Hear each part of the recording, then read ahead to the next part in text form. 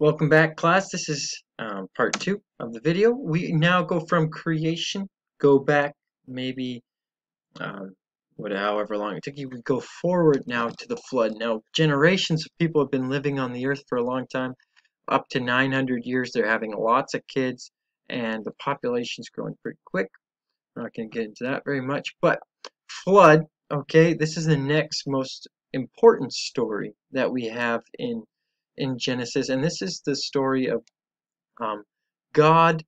Um, just, I guess I want to say it in a, in a good way, but God showing that He does have His sense of justice, but He also has love in it all. So man's corruption and sin eventually was um, it reached its threshold with God, and so God couldn't tolerate it anymore. And so the story goes that He He gives a man named Noah the blueprints to build an ark. And so up to this point, there was no history of rain or anything like that. So he starts building this big boat, huge boat, ginormous. And on it, he's going to keep two of every kind of animals. And as he's building this ark, there's people who are scorning him, saying, "Well, what are you doing? He's crazy man building an ark." And Noah stays faithful. He's one of the few people on earth, who, or the only one God says is is righteous and worthy of or I guess not really worthy, but God has mercy on him and says, This person is the one who will I will use to bring people through the water and start through start again. And so he builds this ark. Okay, God's wrath is poured out upon the world and he floods the whole earth, um, shoots up springs of water, and it rains like crazy. Um, there's lots of theories on what that could have been. Um, there are lots, there's a, quite a bit of evidence for a, a, worldwide flood if you are someone who um, says there isn't. So um, it's, it's very interesting to look into it. And it says rain for 40 days. Those 40 days of rain, Noah's in the ark with all the animals. The water goes up, and then after it stops raining, it takes another 40 days or more for the water to go down. And he sends a bird out, and it eventually it doesn't come back. And, and so then Noah knows, oh, it's time to open up the gates, let the animals out.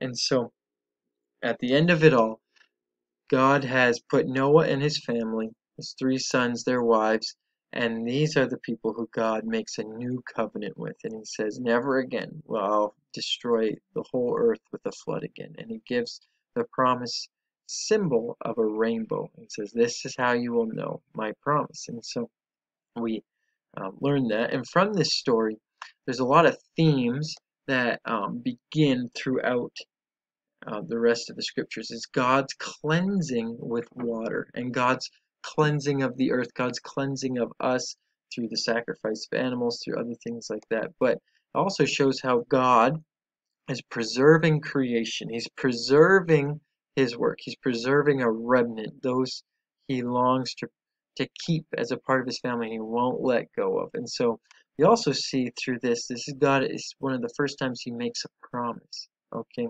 Making a promise to the world, and we call those covenants, and he seals it, and he's the one who keeps it, not us. There's no part of this Noah story where it's all up to Noah to keep it. Really like, um, and so through this, we see that he he makes promises to the world, and that he has a plan to save it. Still, he will continue to work his plan of redemption in bringing this world back to himself. The next story, and um, this one is a little more popular. You can go to um, history, you can learn all about Babylon and Nimrod, all these things. There's lots of theories out there. There's lots of stories, not just from the Hebrew culture, but um, throughout ancient times of a tower in Babylon that was created and built. And so there's a lot of corroborating evidence for this. Um, but um, our next story is the Tower of Babel. And some people might wonder why include this story as just another story, another event. Um, but I think it plays a very integral role in God's um, greater plan and how we get to Revelation and in the throne room where God is being worshipped by every tongue and tribe and language from around it, uh, from all time in this world, and how um, how really now how do we get to this point of lots of languages? So the Tower of Babel takes place in Genesis 11. Go ahead and read that right now. Pause the video. And it is about um, uh, the people. After Noah's time, they have forgotten about what God had done. And they all have the same language, same tongue, and a lot of them are still living in this area. And so they do not want to be obedient to the Lord. They want to be like God. And so they said, we're going to build a tower to the heavens right up to where God is, and it'll be our statement, it'll be our kingdom, it'll be our glory. And so, um, the people, okay, were not listening to God's commands to fill the earth. They're all hanging out together. Remember, He gave that command, go and be fruitful. He also told Noah that, go and fill the earth. Go to the ends of it, extend my glory, take my image everywhere. And so, um, they're being disobedient in wanting to be like God. They're also being disobedient in not fulfilling that command to going. They're all hanging out together. And so God in his I think in his love, he comes down and says, says this isn't good. So he he through working a miracle changes everyone's language on them. They wake up, they just can't understand anymore. And so it's hard to work with someone who you don't understand, right? And so because of these languages in him changing everyone's language to different ones, the brand new, obviously. Um, everyone disperses. The tower is left undone, and people go throughout the world finding a place to settle where they speak their own language. Okay, so a few themes and lessons we're learning about that is the first one is, and it continues to be a theme, is man trying to be like God. Us trying to be God. Us in rebellion against who God is and his desire for us to be in communion, to be in relationship, to, to allow him to be Lord and for us just to, to have this dwelling in this and this dependence upon him that's wonderful. The other thing is people were unified through language. Okay, the language was something that unified them. God dispersed them, and in God's dispersing of them, okay, they go everywhere. They're spread out through the ends of the earth. And actually, this is um, God almost forcibly doing or getting the people of the earth at that time to follow his command of going to the ends of the world and being fruitful and increasing in number, extending his glory. Okay, but even here, it's incredible to think that God, as He sends them out, He also already has a plan to bring them back in.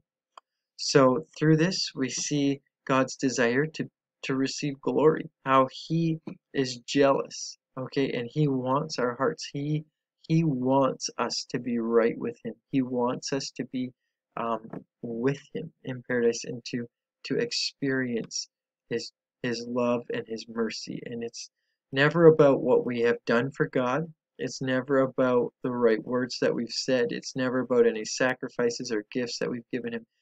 We just see throughout history, it's all about God choosing us, God wanting and desiring us, and us putting our hope and our trust and our faith in Him. And that is what saves us, not sacrifice, not works. Okay, um, the last point for this one um, is that God is using this is the beginning of a story or not necessarily it's the another piece to the puzzle of how God is showing how necessary it is for mankind to be saved. Okay, we cannot do it on our own. We can't live right before God. And so our sin is just always getting flashed in front of us. Through the story, we're seeing how bad people really are and how badly we don't want God and what He wants for us, and how badly God wants us and is willing to make a way for us. So we see that I'm saying extending God's glory. When I say that, it's it's a theme in the Bible that God is um, wanting all of the world to know about Him, and He chooses different vessels to do that. And so it starts small and it grows bigger and bigger and bigger. And that will actually be the next part of our video series is going to be God's next step. And that next step is God taking action and establishing a bloodline. He finds the lowest of the low. His name is Abraham. And he says, With you, I'm going to make a covenant. You're not going to be able to keep it, but it's on me to keep it. Thank you guys. I hope you enjoy. Have a wonderful day.